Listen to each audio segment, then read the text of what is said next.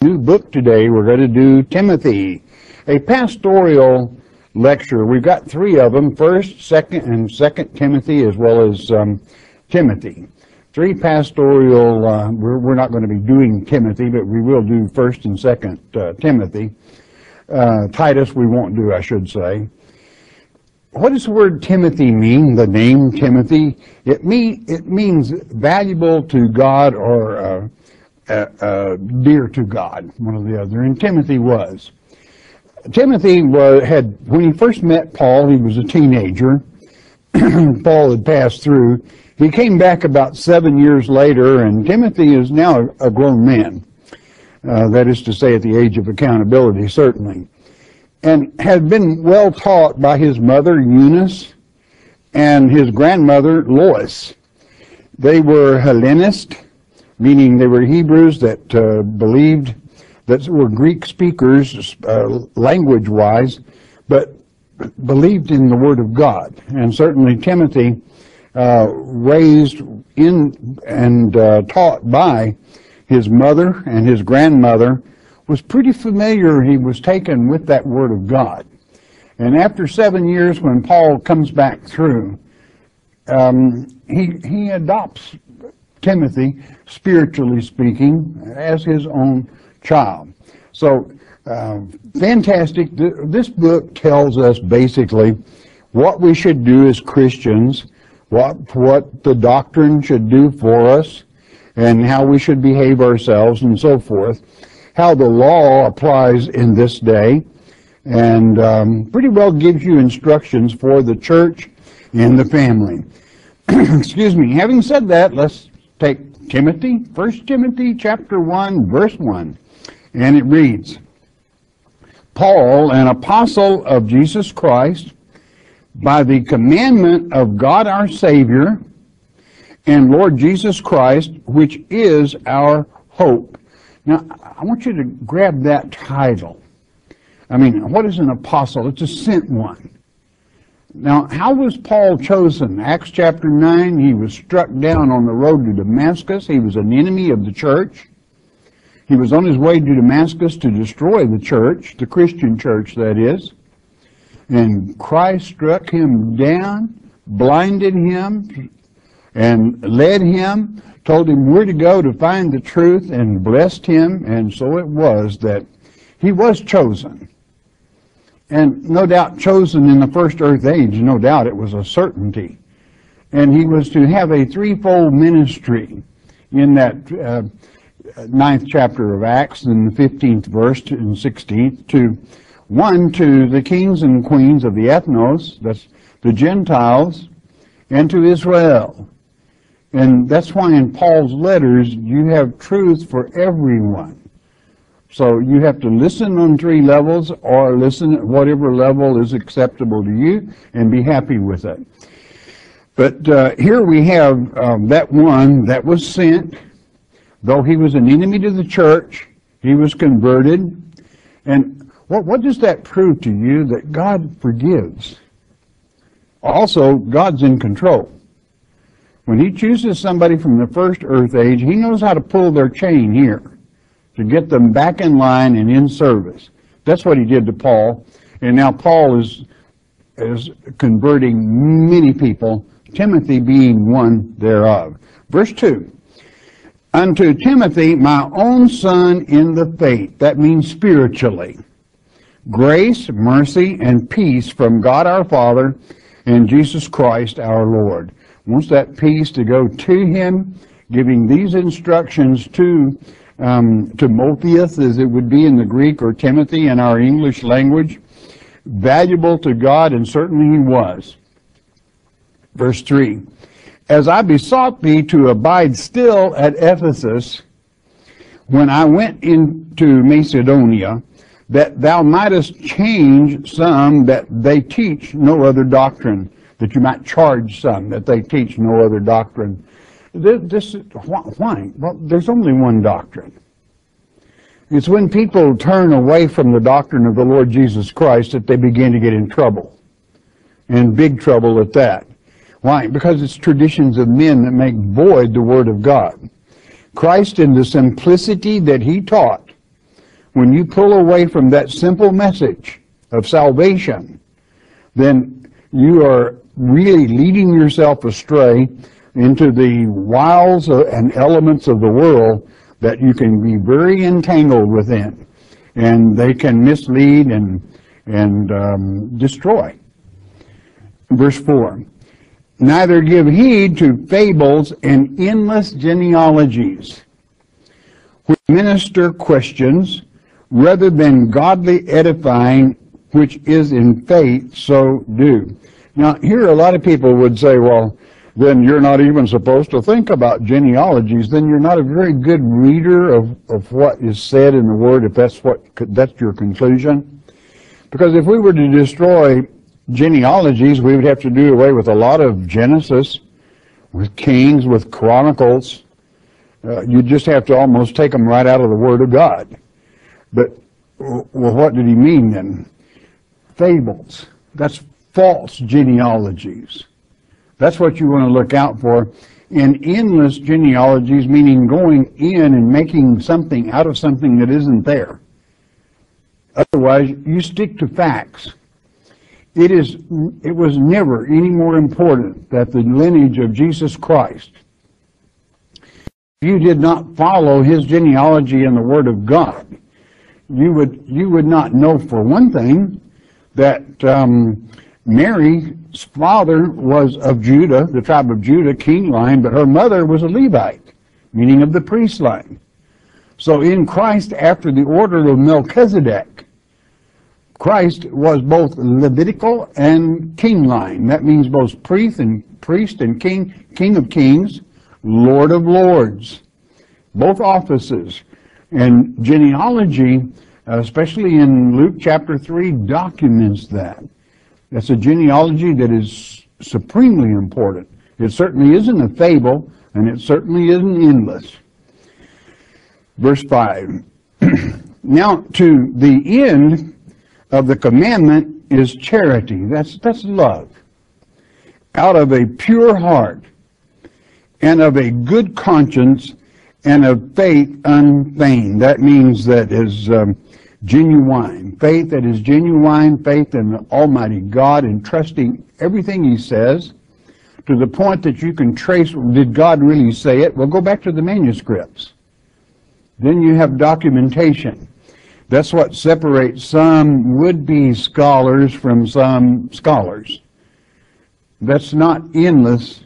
That's simply being intelligent enough to know this King James written in 1611 is a fantastic Bible. But it was taken from manuscripts that were written back when Paul and Timothy walked the soil. And what language? Well, it was, they were Hellenists, so it was in the Greek. Okay. And they could speak, Paul could speak more languages than anyone. He could, he was, uh, of that day. He was a Roman born, his father being a citizen of Rome, and certainly he could speak the Roman tongue. The Hebrew tongue he was very familiar with, Aramaic very familiar with, the Greek tongue, he spoke colloquial Greek, street Greek you might call it, and, um, and, and, and could communicate with just about anyone. So uh, how precious it is. But, but what of all the gifts, what comes first? Love. Loving what you're doing loving the Lord. What, what does He want from you? He doesn't want your burnt offerings. He wants you to love Him. And in loving Him, you would surely, I mean, if you truly, genuinely love God, you want to really analyze the letter He has sent to you telling you how to be happy, telling you how to be content, telling you how to please Him. You would surely do that, would you not? In other words, love brings that forth. Love causes you to be a deeper scholar than, that is to say, deeper in the simplicity in which Christ taught. For from, for which some having uh, severed, served, have, have severed, have turned aside unto vain uh, jangling, uh, swerved aside. You know what this jangling is? It's a bunch of ratchet jaws. In other words, people that like to just talk, talk, talk more than what is written. And when, you change away or swerve from the real true word of God, and you, you want to jangle, ratchet jaw, I don't know, maybe you've never run across a ratchet jaw in your lifetime. Um, that's somebody that can really talk, but it never makes any sense. And if you ask them to document that in the Word of God, they say you must be a non-believer, or they'll pass it off something to that light. They will not document it. Why? Because it can't be.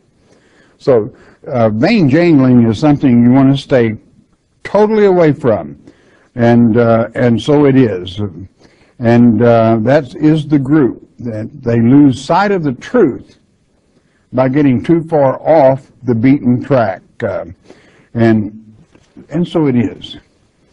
Verse 7 Desiring to be teachers of the law, understanding neither what they say nor whereof they affirm.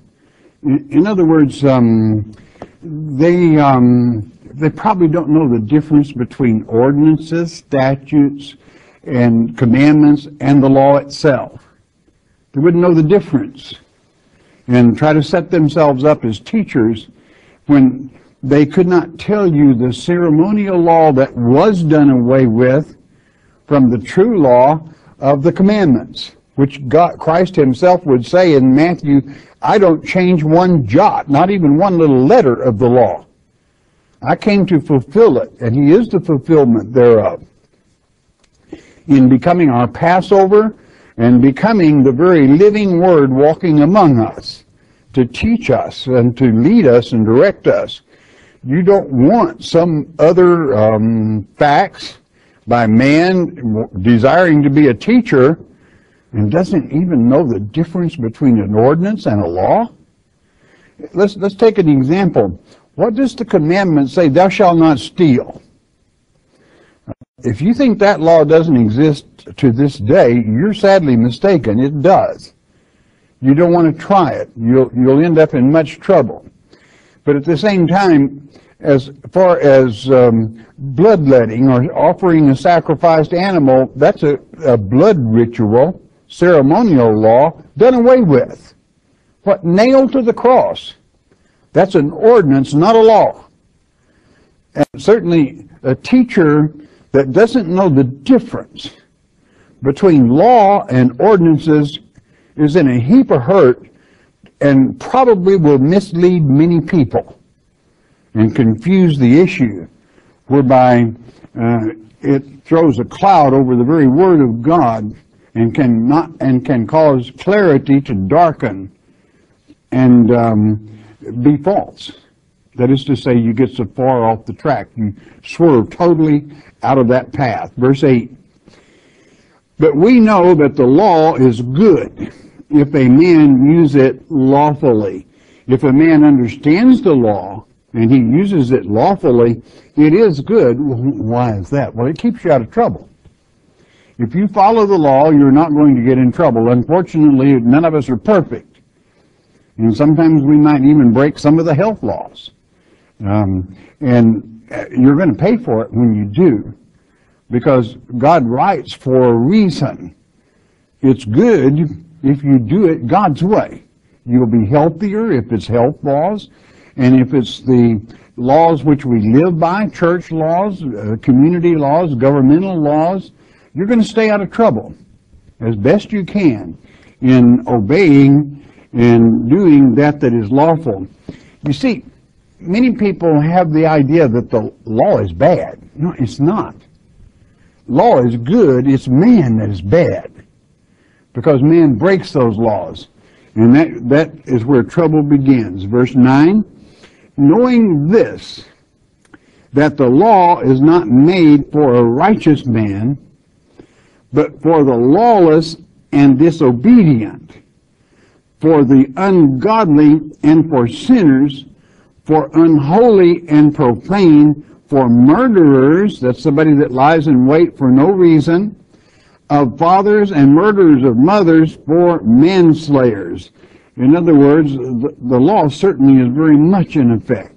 It wasn't made, if a person that never breaks it doesn't have to worry about the law. And a truer statement can never be made. As long as you obey the law, you've got nothing to worry about, basically. Verse 10 For whoremongers, for them that defile themselves with mankind, any kind of perversion, for men stealers, for liars, that is to say, people that enslave people, and people that lie, for perjured persons, and if there be any other thing that is contrary to sound doctrine. See, that's one of the simplest ways that you can tell whether a law is, whether you're following the law, is it sound doctrine? Does it apply to God's doctrine? Does it apply to Christ's doctrine? That is to say, His message. And certainly, if it is sound, and if it obeys the law, you're not going to have to worry about any of those things forementioned. Because it is, the law does not apply to you, it applies to them know beforehand God intends. Man will probably through law make you pay part of it. But God intends for you to know, let it be a marker, He's going to make you pay for it. Why? Well, you broke His law. And He sits on the throne. He's in charge. What do you think He's going to do? So therefore, there better be a lot of repentance and a, a lot of going to that throne in prayer and asking God's forgiveness when you fall short and ask His blessings instead. Because one of the greatest gifts, as He said coming out the gate, is charity. That's love. Letting God know how much you love Him, how you love His Word. And uh, unfortunately, in the flesh, we mess up sometimes. But that's, that's what the law is for, is to help us get back on track. And our Father is a very forgiving God whenever you are genuinely apologetic and have a change of heart. Verse 11, to continue. According to the glorious gospel of the blessed God, which was committed to my trust. Paul, how was it committed to Paul's trust? On the road to Damascus. I mean, he, Paul's own desire was to destroy the church. But God took, uh, he, God didn't give him a choice. He struck him down and forced him, so to speak, to follow God's word. You might say, well, well, I didn't know God would do that. Well, then you don't understand the first earth age. Paul earned the right to be one of God's chosen vessels, as Acts chapter 9, 15 stipulates. He was a chosen vessel for God to use as God saw fit. And so God did use him. He knew from the first earth age, Paul was very zealous. He didn't, he didn't go at something halfway. When Paul undertook a thing, it was all out, and God knew it. That was the same way it was in the first earth age when God chose him. So when God committed the word to the trust in Paul's trust, it couldn't have been in better hands. You see, Paul, don't underrate Paul. Paul was one of the better scholars. He studied at the feet of Gamaliel, one of the greatest scholars of that day. He, he knew the Old Testament inside and out. He was very informed. He just missed the point that Christ came of Mary and died on the cross. He missed that. But God had a way of catching him up with it and so it was that he was uh, had all this truth committed to him, and he did well. God would utilize him to write a great deal of the New Testament that we so follow. Verse 12. And I think, I think Christ Jesus our Lord, who hath enabled me, for that he counted me faithful, putting me into the ministry. Um, he made me able, is what Paul is saying. Again, you have to realize uh, anybody that does not understand predestination should take the life of Paul and look at it real close. Knowing what Paul's will was, but what God's will was. God's going to have it His way. But He will not, absolutely not, interfere in the life of a person that was not chosen in the first earth age. As we read in Ephesians chapter 1, verse 4, Behold, I chose you before the foundations of this earth age, this eon of time. Why? And you were justified as it is written in Romans chapter 8. Why? God can move your life around. Why? Because you're already justified. You'll pay for your sin, but you're, you're justified. And He can interfere in your life and move you like He did Paul. But somebody that has free will, meaning they didn't overcome in the first age, God, unless they ask Him to do a thing, He will not touch them. Why? Because on Judgment Day, they will throw it up to Him saying, well, if you hadn't interfered in my life, He will not interfere in someone's life with free will unless you ask. But God wants you to ask. Why? Because He loves you. Charity, love, is the greatest of all. Uh, the, the scripture that pops into my mind here for the one with free will that might think they've missed something, they haven't. God loves them. They just didn't cut it in the first earth age. Make sure you don't miss it in this one. But it was um, would be Isaiah chapter 43 verse 26 where God said, "Hey, remind me of my promises." So we can talk about it um, and I can justify you. That means I can help you and make it right. So whether you have free will or not, you've got to talk to him. You have to remind him. And with free will, that's the way you get his attention. Because he's not going to interfere in your life otherwise. I'm talking about election, he will interfere in your lives. Free will, he will not. Does he love one more than the other? Absolutely not. He's not a respecter of persons. And those that overcame in the first earth age are his servants. All they do is work for him to try to bring in line those with free will that they have eternal life. Verse 13 to continue. Who was before a blasphemer, and this Paul coming down himself, and a persecutor, and injurious, but I obtained mercy because I did it ignorantly in unbelief. I, I didn't know Christ had died on the cross.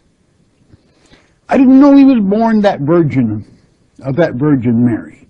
Though he was familiar with the scripture, Isaiah chapter 7 verse 14, where it stipulates very clearly, a virgin shall conceive and have a child, man child, and you will name him Emmanuel, being interpreted God with us. Paul knew that. He said, I missed it. I should have known, but he didn't. But uh, I did it ignorantly in unbelief, so he wasn't accountable. God didn't hold that against him.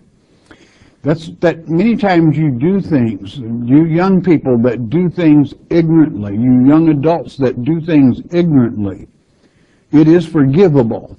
Though you may think it isn't. If you do it in ignorance, it is forgivable. And and you want to love God for that. Charity, love, is the greatest of all gifts. So what you do in unbelief, in ignorance, is forgivable. Verse 14. I mean, uh, let's say it again. Paul, I mean, he was a bad character. He was, I mean, he, he, the church was afraid of him. That's why he had such a hard time working himself back into the church. Said, hey, he's the one that about ruined us. He, he was there when they stoned Stephen to death, holding the coats. And Stephen was so righteous. 14. And the grace, that's the unmerited favor, the love of our Lord was exceeding abundant with faith and love which is in Christ Jesus. He loved me. Naturally, you of God's elect must know this ties into the first earth age as well. 15. This is a faithful saying, of all acceptation that Christ Jesus came into the world to save sinners, of whom I am chief. I, am the worst one. In these three books that I mentioned, 1 Timothy, 2 Timothy, and Titus, five times you will have this saying, this is a faithful saying. Five, of course, means grace. It is utilized five times. That is the purpose. Christ came into the world to save sinners, of whom I am chief, he said. In flesh, we all fall short. And Paul, he really persecuted the church. He, he wasn't putting on uh, lightly. He, he was severe with it. He had a letter in his pocket with permission from the chief Pharisees to destroy the church in Damascus, in Syria,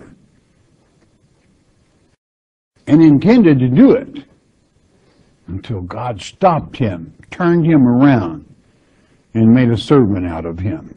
Verse 16 Howbeit, for this cause I obtained mercy, that in me first Jesus Christ might show forth all long suffering for a pattern to them which should hereafter believe on him to life everlasting.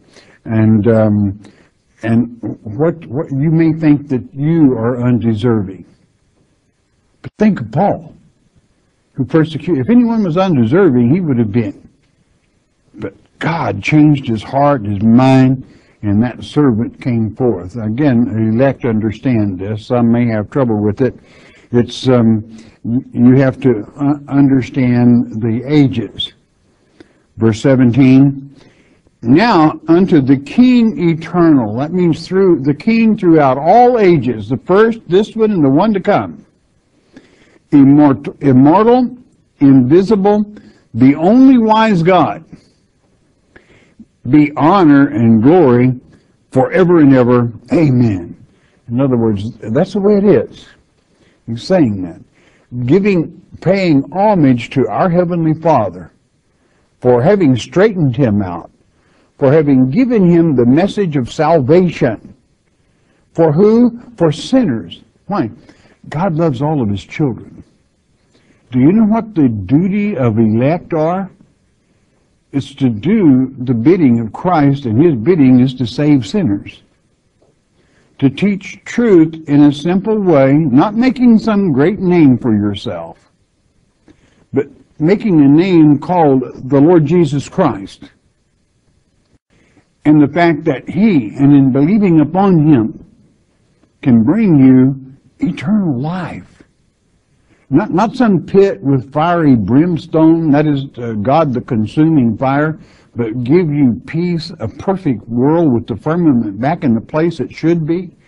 No storms, a perfect earth, rejuvenated as it is written in Revelation 21.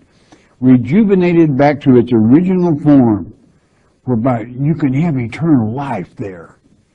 God wants you to participate in bringing and practicing that salvation. You know, you can take a little light and say, it's mine, mine, mine. I see that and I know I'm better than anyone. No, you're not better than anyone else. God is not a respecter of person. And if you want charity to move away from you, just have that attitude. Boy, it'll, God will drop you like a hot rock. Overcomes all. This is not to say that you're not to be cautious and you're not to practice that against our enemy, but to save as many as you can in being fair and equitable in bringing forth the Word of God, whereby the price is paid on the cross that they can participate in. That's a true saying. Verse 19 to continue. 18 rather, to continue. This charge I commit unto thee, son Timothy, his spiritual son, according to the prophecies which went before on thee, that thou by them mightest war a good warfare against the wicked, against the evil, that you are brilliant enough that you can. You, what is the most powerful weapon in the world? The Word of God. It's a two-edged sword. It cuts both ways. It can take the highest office in the land and cut him right down to smithereens. That is to say, spiritually speaking. when wrong is done, or when right is done to build them up, to be fair, to be equitable. Verse 19, holding faith. Now, now what, what is faith? With the gospel armor, I want you to think about it. It's your shield. And a good conscience, um, that's the breastplate. Have that right out in front of you. Which some, having put away concerning faith, have made shipwreck. And, and naturally, with um, Christ being that shield, you and faith in Him, you put Him away, you're going you're going on the rocks, friend. You're sailing your little old ship right out into bad, bad country, and there's reefs and rocks aplenty. Christ protects, and Christ avoids shipwreck of your life, and pulls you back together, gives you hope, because you have faith in Him and a clear conscience know you're doing the best you can. Verse 20 to complete the chapter. Of whom is Hymenaeus and uh, Alexander. They denied the resurrection. There was any life after death. Whom I have delivered unto Satan that they may learn not to blaspheme. In other words, I've turned them over to the devil. He can beat them up till maybe they'll come around. And that's what can happen to you. You let Satan get a hold of one of God's elect when they pull away, he will chew them up right real good. Why? He's got everybody else.